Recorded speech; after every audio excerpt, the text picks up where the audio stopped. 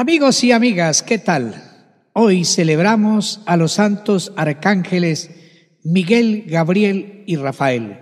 Sus nombres significan Miguel, ¿quién como Dios?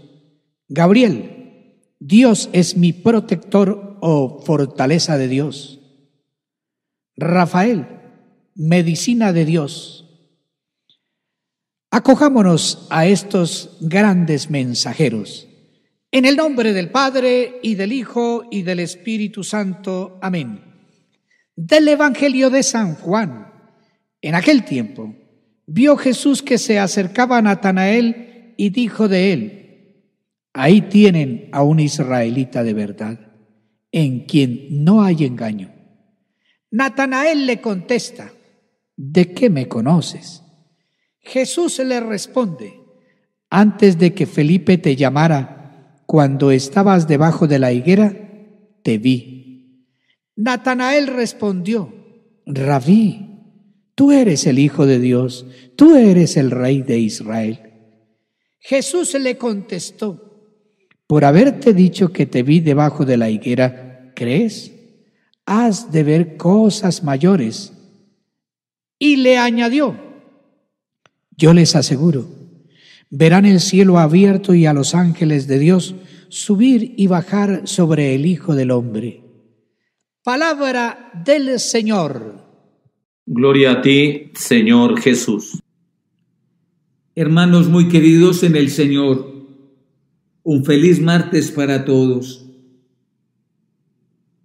En el texto que nos entrega la liturgia de hoy, encontramos un bello pasaje para considerar varias cosas.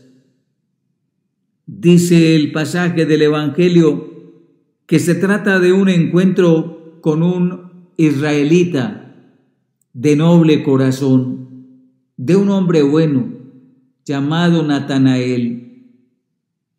Natanael es invitado a venir al encuentro con Jesús. Y cuando Jesús lo ve venir de lejos, dice, aquí hay una israelita bueno. Aquí hay un israelita noble, aquí hay un israelita transparente. ¿De qué me conoces? Jesús, como verdadero Dios, conoce todo, penetra el corazón. ¿De qué me conoces? Es que el Hijo de Dios ha venido a penetrar el corazón del ser humano ha venido a iluminar nuestra existencia, ha venido a darnos una nueva oxigenación. Tanta gente buena, tanta gente buena. El mundo está lleno de bondad, de gente buena, de verdad. Si comparamos un poco las realidades, la gente buena la encontramos en nuestra propia casa. Hay gente buena por naturaleza y en el vecindario y en la gente cercana y en los compañeros de estudio y en los compañeros de oficina y en los que están trabajando con nosotros en el campo. Gente muy buena por naturaleza, hechos a imagen y semejanza de Dios. De ahí les viene esta natural manera de ser buenos. Pero también tenemos que reconocer la fragilidad del pecado y el daño terrible que hace el pecado en el corazón del ser humano, hasta tal punto de llevarlo al fracaso. Entonces viene Jesús en nuestro auxilio, viene el Señor a ayudarnos, invitándonos a salir de lo bueno a lo santo. Ven y sígueme. Era un hombre bueno, pero no basta con ser bueno, hay que ser santo. Y la provocación de Jesús para cada uno de nosotros desde el bautismo es la santidad. Jesús ha venido a traernos la santidad del Padre, la santidad de Dios. Se hace mediante la fuerza del Espíritu Santo y la apertura generosa al Espíritu.